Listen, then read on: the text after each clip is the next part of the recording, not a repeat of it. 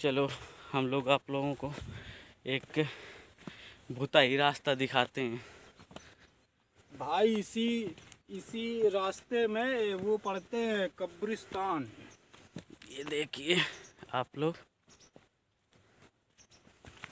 यहाँ से होकर गुजरना पड़ रहा है हम लोगों को।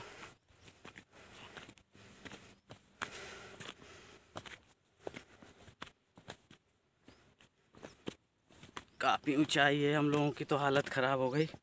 अभी यहाँ से इतनी ऊंचाई चढ़ने के बाद अब यहाँ से नीचे की ओर उतरना है। जंगल है यार तो हमें तो रास्ता पता नहीं। तो ब्रजेंद्र भाई आगे आगे चलो।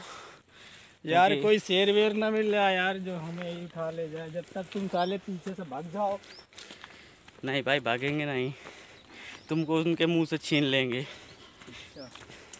भले। फिर रहो फिर। भले तुम्हारा एक दो पार्ट गायब हो जाए लेकिन आप लोगों को छोड़ेंगे नहीं लेके ज़रूर जाएँगे। हमारे दोस्तों को क्या होगा यार फिर हम शूट नहीं शूट नहीं कर पाएँगे वीडियो। कोई बात नहीं यार बहुत हैं दोस्त। अच्छा। भाई ये तो मज़ाक चल रहा है ऐसा नहीं है। आप लोग देख सकते हैं। आप लोगों का प्यार हम लोगों को कहाँ कहाँ ले जा रहा है। हम लोग जंगलों में घूम रहे हैं। आप लोग देख सकते हैं।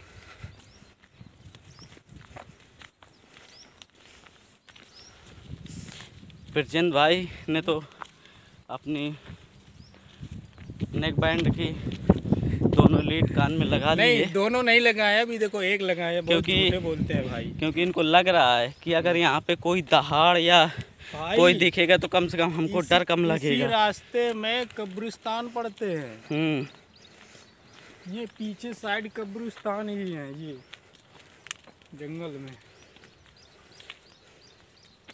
ये जो जंगल दिख रहा है यही है दोस्तों इतना चलने के बाद भी अभी हमें तो नहीं समझ में आ रहा है कि हम कहाँ जा रहे हैं क्योंकि इनके भरोसे आए हैं ये जहाँ ले जाएँ। अब कोई- गए हैं अपने गाँव के पास। ये देखो बस्ती दिख रही है। अभी पेड़ है अभी नहीं दिखेगी और चलना पड़ेगा हमको अभी और जिद पे अड़ा रहना पड़ेगा।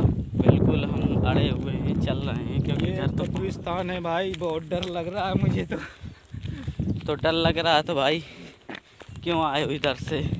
चलना तो पड़ेगा ही ना। हाँ, अगर बैग भी होगे तो भी तुमको डर लगेगा। हम्म, यहाँ से हार होगे तो बिल्कुल हार मानना ही नहीं चाहिए। करके दिखाएँगे देख सकते हैं आप लोग, हम लोग पहुँचने वाले हैं अपने घरों की ओर।